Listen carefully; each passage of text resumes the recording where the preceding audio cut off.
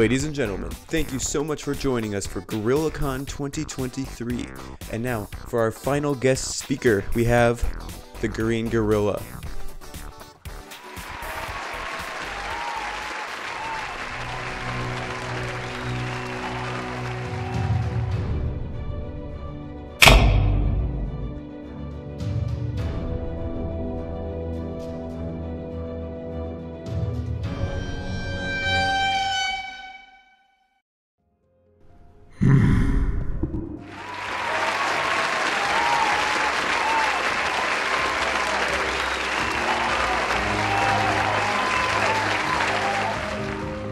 My work here is done.